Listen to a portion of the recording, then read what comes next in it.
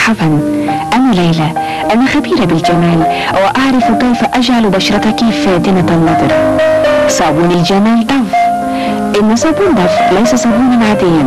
وكل صابون ربعها من كريم الترطيب. إنه علاج يومي للجمال.